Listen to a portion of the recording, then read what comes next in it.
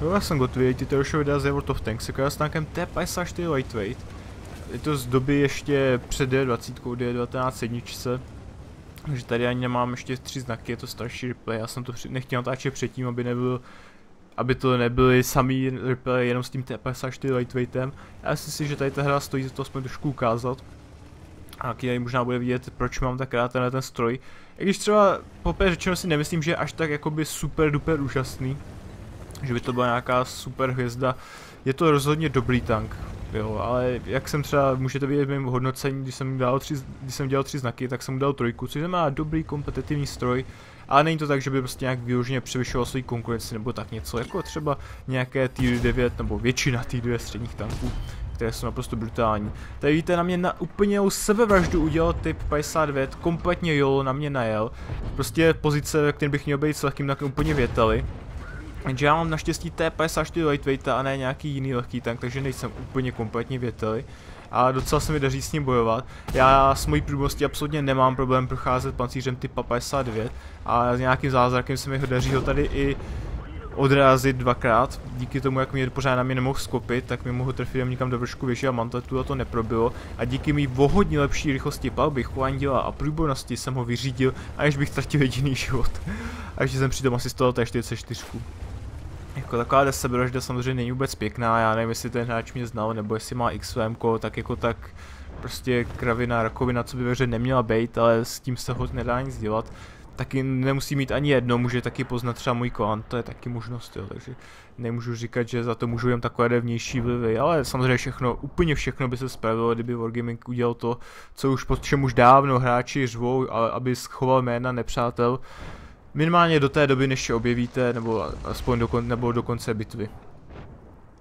Takže tady v tom replay jsem na Recharu ze strany, která nemá až tak tu až tak výborný cache jako na té druhé straně, kam můžete nejet a docela toho spotnout. Tady se dá taky docela dospotovat, když neříkám, že tady spotu ideálně a něco malinko jsem tady asistoval, ale bylo to spíš ze začátku, když tam je na, na ten typ 59 a to jsem poprvé řečeno se nějak nesnažil, protože to jsem byl naprosto pod tlakem a bylo to příšerný a jsem rád, že jsem přežil a nejenom, že jsem přežil, ale jsem přežil dokonce s plným životem, tak to bylo ještě o hodně víc fajn.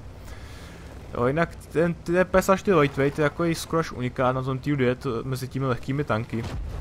Protože většina těch tier lehkých tanků není tak dobrá, nemá tak skvělou kombinaci mezi jakoby tím středním tankem a lehkým tankem, když musím přiznat, že ten tank je spíš lehký tank, jo, je spíš scout, ale má prostě docela solidní plavnou sílu, když třeba LTT byl na svým týru má podle mě vodost větší plavnou sílu, protože má skoro stejně velký poškození za minutu a větší přesnost, ale LTT byl na svým týru není tak dobrý scout jako ten PS4 Lightweight a to se mi právě na tom líbí, že můžete krásně scoutovat, jezdit, jste komfortní a vaše dílo je super přesný za pohybu, ač mu hodně schází poškození za minutu a třeba alfa, co si budeme povídat, tak to prostě není do, do, do nějaké skvělé úrovni a prakticky všichni vás přestříví, tak v okamžiku, kdy už je to prostě nutný střílet, nebo kdy můžete jen tak jako jezdit a pálit za pohybu, tak to vidíte, že ten lightweight stačí.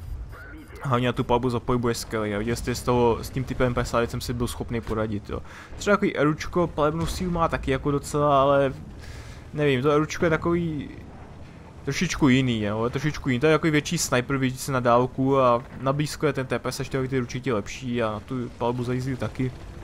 Se týče toho, kde je lepší scout, tak to záleží, co preferujete, jako na papíře je lepší eručko, ale jak, jak kdy, no, jak, ten, ten tank má aspoň trošičku pancíře, což se někdy může hodit, tady vidíte tu přesnost, že ale to nebylo ani tak díl té přesnosti, jako spíš náhody, že prostě to zajít úplně do nejhoršího možného místa. Tady to taky nezajít úplně ideálně, já jsem mohl doměřit trošičku více, já jsem si nebystý, jestli mě náhodně bude někdo trefit, tak jsem byl raději opatrnější a další já už jsem umístil lépe, řekněme, a nebylo problém tady pěkně trefit. A jsem schytal BZ v tu chvíli, Někdo tu ráno pro tým schytat musel, tak to řeknu. Buď bych to byl já, nebo ta 3 4 3 já jsem neměl moc život, já jsem měl ještě hodně života, bohužel jsem teďka z tohoto FCMka, s čím jsem nepočítal, protože nikdy nepočítáte s tím, že vás budou trefovat spojenci, ale tak to je samozřejmě nepříjemnost, se kterou se nedá nic dělat. A tak mám půlku života, i když bych si teda rozhodně nepřál mít půlku života, ale co nadělám. A můžu tady najet snartým a mezi tím ještě naspotovat toho Leoše prototypu. Tady nemá vůbec žádnou šanci, no jo, to je pohled krásný, no jo. Parádička, rozhodně velmi uspokojící. 10 k 8, by to je furt hodně vyrovnaná, i proto jsem třeba tu ráno chtěl schytat, protože by ta 3 4 3 náhodou třeba mohla i umřít. A to bychom samozřejmě nechtěli, protože kdyby to 3 4 tak už by to bylo 10 na 10, s tím, že oni mají ST, což je tank, se kterým bude mít super velký problém ho nějak zničit, protože má opravdu hodně velký pancíř. A my nemáme až takový děl, který by mě tak skill průbnost kromě Scorpiona, takže jako nebude to snadný se s ním vypořádat, tak to řeknu. Ale my máme na naší straně rychlost, kamufláž, přesnost za pohybu, na, aspoň na mojí straně. Takže tady můžu vyrazit a kouknout na ty nepřátelé a objevit, nebo případně dorazit tu IS-3 s tou 320, ona si pravděpodobně s ní poradí sama, více než bez, bez problémů. A uvidíme, abych jim ho smrčku dráka tu IS-3 by neschytala ráno ta 320, což právě tady udělám, víte, že nemá jako moc velkou šanci.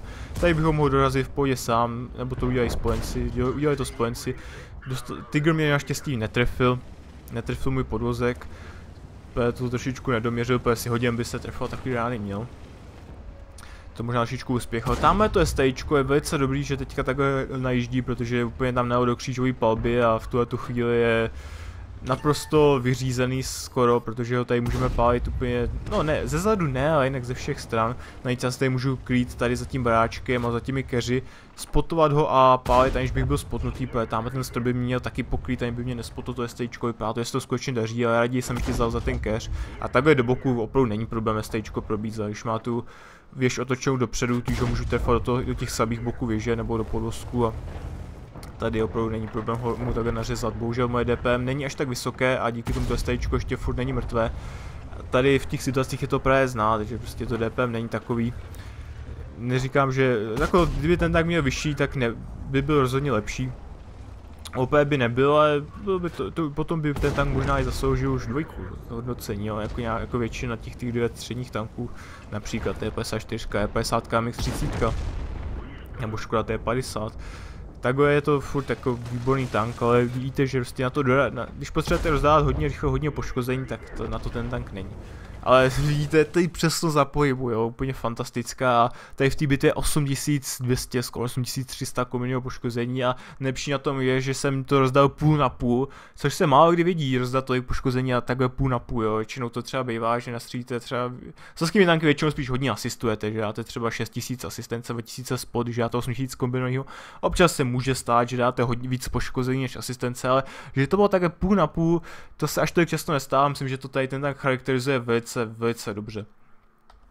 Jo, opravdu s tím tankem se je dobře, poškození se dodá taky, já ne, poprvé řečeno těžko říct, jaký s tím mám statistiky, těžko říct, bohužel, stejně jako se všemi ostatními týdny techními tanky s výjimkou nového VZ, mám tam prostě statistiky skažené nebo neodpovídající kvůli tomu, že tam byly předtím nějakých u každého tanku minimálně 80 bitev, u 30 přes 300 bitev, prostě předtím, než byly ty tanky předělaný, a ty, ty mi to mi strašně neseděly, byly ty tanky dost horší a vůbec se mi nelíbily, takže to vůbec neodpovídají ty statistiky, bohužel, takže ne, nevím, jak moc dobrý statistiky s tím tím tankem mám, ale myslím si, že aspoň takový 2100 průměrného poškození, možná i 2200 nabitů tam je a minimálně 14, minimálně takových 15 asistence nabitů, takže ten tank rozhodně schopný je.